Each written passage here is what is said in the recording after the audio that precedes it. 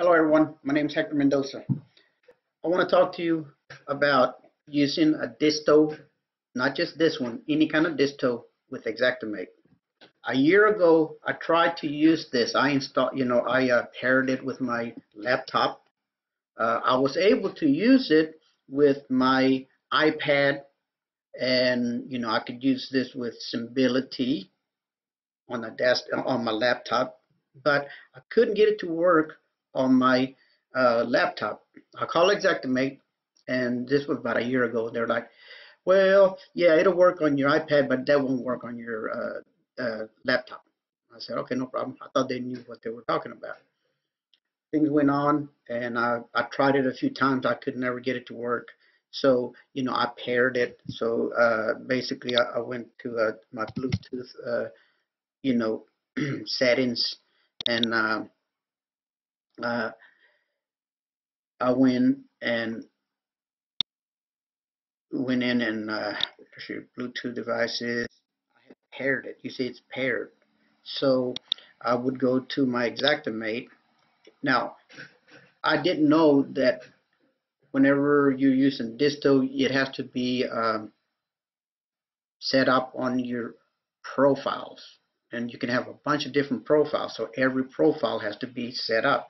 So, you know, basically you go to your control panel, you go to preferences, then you would go into the different kinds of profiles. I have a bunch of them. So I'm going to just keep, uh, just use Liberty Mutual, for instance. And if you go to your sketch and you'll see disto laser uh, distance meter and it has to be enabled. So I, uh, so I had, what did I do that for? Um,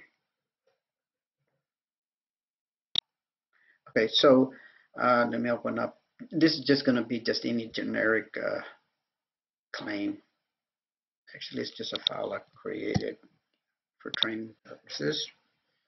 So, so you know, you go in there, you pair it, you set up your prof, uh, preference, then you open up a file, and when you know you have it paired and you have it set, you're going to get this little dialog box on the upper right hand corner when you go into your uh, you know your sketch and under your tools. See right in this corner? See it appears that that is your disto icon. I mean all it is is a, a, a Bluetooth. But you know if you would go in here and you click here you turn on your disto you see how nothing happens that's because you have to have a software installed in your computer in order for this to work on a desktop or a laptop. I got a hold of a good, smart technician. So so he told me, well, do you have it installed? I'm like, no, sir, I didn't know it was supposed to be installed. He gave me a link. Where, well, he didn't give me the link. He said, just go to disto, and there's going to be um, there's going to be a um, a link. So I went and found the link and I'll share this link with y'all. So here I have a um, shortcut. so this is the link that you have to go for your disto devices on a laptop. Here it is right here. Okay. Uh, let me see if I have a um, uh, here, let, let me do something real quick here for you that way you can see it um,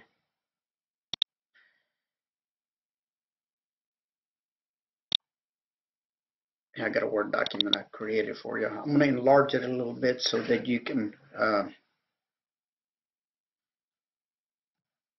okay so that is the web page to disto going directly to disto and I'll copy and paste this and put it on my uh, my YouTube video. Uh, you'll see it at the bottom. Okay, so so then what you would do, uh, like I said, you know, this is the web uh, this is the web page here.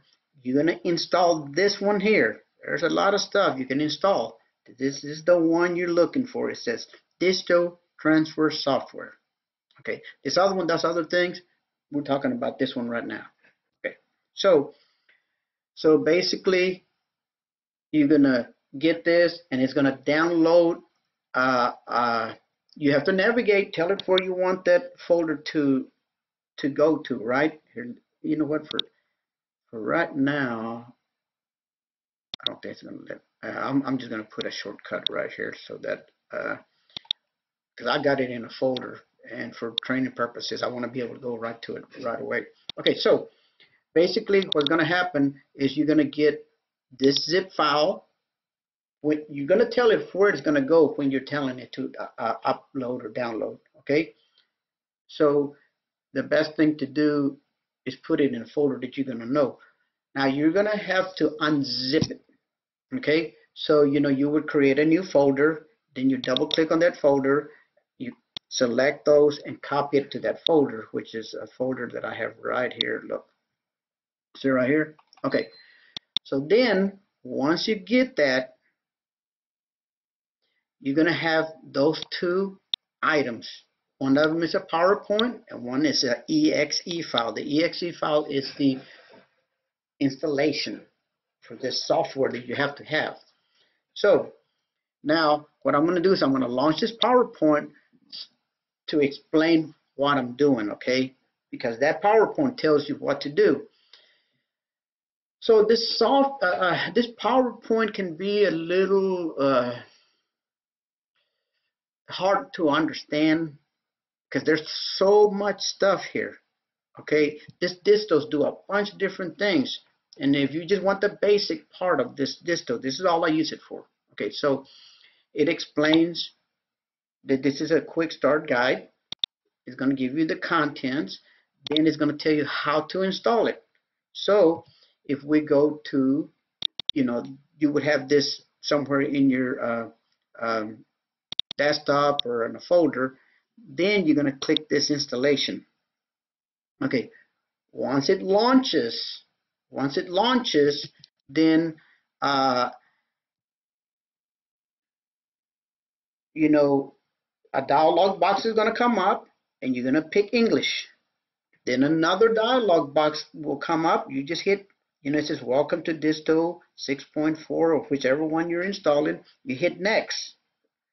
Then you're going to get another dialog box and then you're going to tell it finish.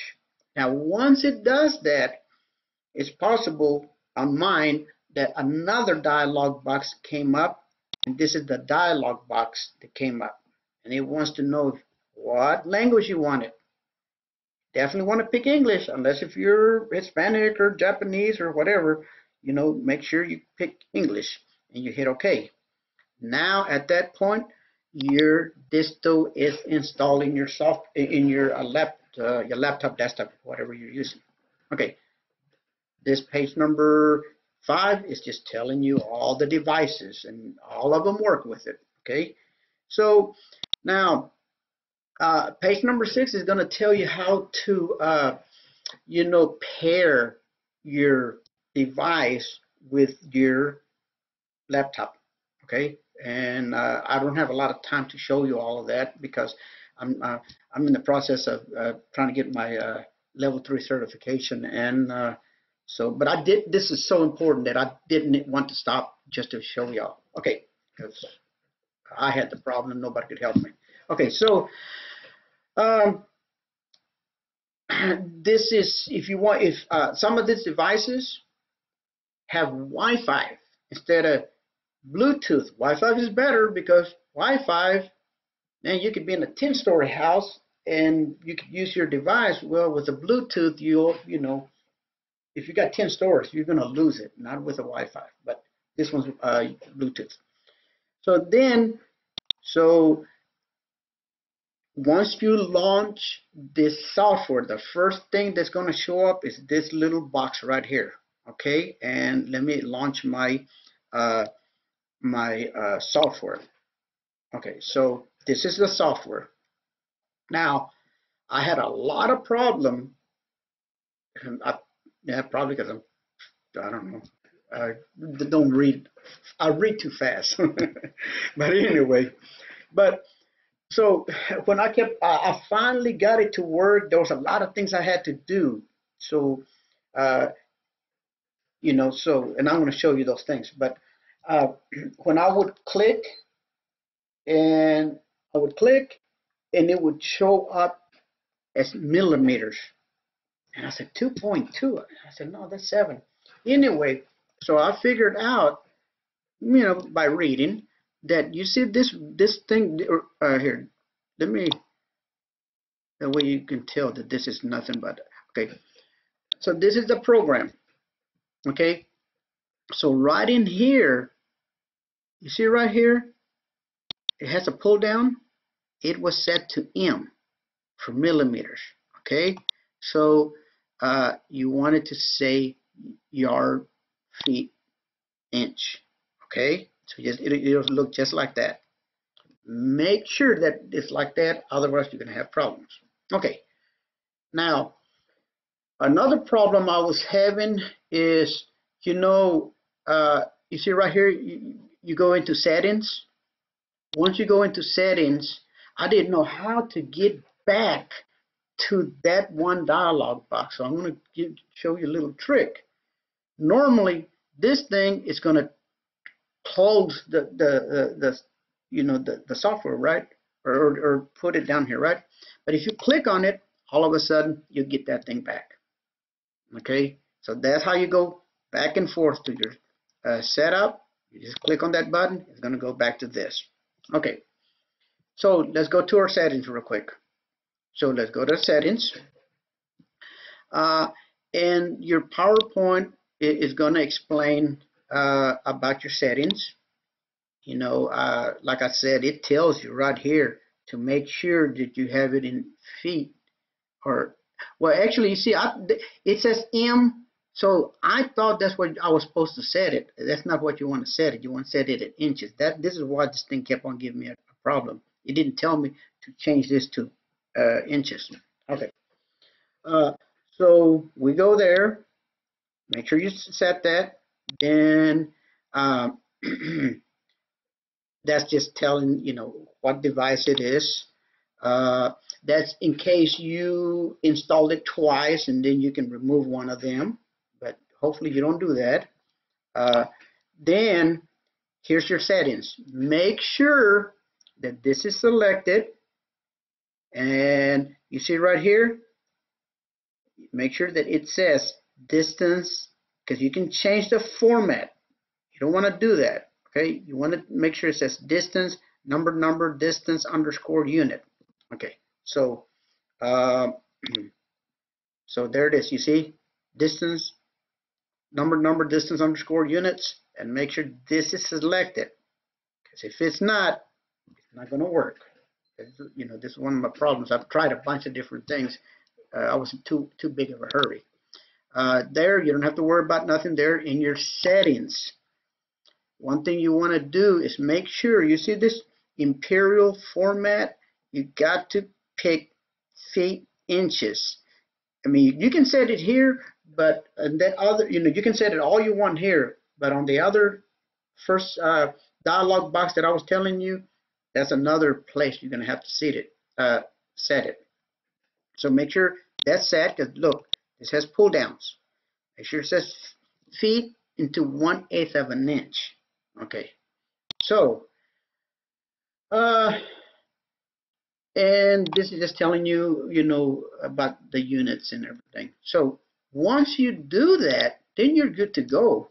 But I want to make sure you understand that this software has to be open in order for it to work. And let me show you real quick. So now we don't need this uh, PowerPoint. You're going to have it. So let's go to Xactimate. Uh, I'm, I'm going to, let me see if I have that thing turned off. Yeah, it, uh, I don't need that no more. Let's see what else I got on. Uh, those are just my settings. Okay, yeah, so it's not on. Okay, so I got Xactimate. I am clicking, dragging, now I want to change this. I want to use my disto. It's not going to work because I don't have it on. I just want to show you. Excuse me. So I go in. See, it's not doing nothing, right? Because I don't have the disto on. So if I go into my disto and I turn it on, you know. Uh, so look, watch this. So if I click here, look at this little number right here. See, you know it's working. And not just that, but look, you see an Xactimate? It changed it. Oh, no, no, it didn't, because I don't have that Xactimate selected. Sorry about that. But you see, that's 7 feet 10 inches, 11 30 seconds of an inch. They say one quarter, close enough. Forgot, well, it's the same thing. Uh, anyway, so now we go to Xactimate, click, select the measurement you want to change. So you click, you hear it, bam, change, hit enter, okay? Click, let's say I want to do this, uh, this, click, you heard it, you change, hit enter. That's how easy it is. Man, this is great. I love using distos. Um, I mean, you can get a room done real, real quick. Anyway, guys, that is it. If you ever have questions about Symbility or Xactimate, I got about 71 videos out there that explains a lot of stuff. Uh, you know, in, in those videos, I uh, uh, you can email me at Hector Mendoza 0219 at um, yahoo.com. Here, let me, here it is right here. You see? H E C T O R M E N D O Z A 0219 at yahoo.com. And you can email me and I'll uh, I'll write you back. And you can even ask me for my phone number at that point. I'll, I'll give it to you. And I teach a lot of adjusters and contractors, uh, a lot of different cool stuff and Xactimate. Thank you for watching my video. I'll see you on the next one.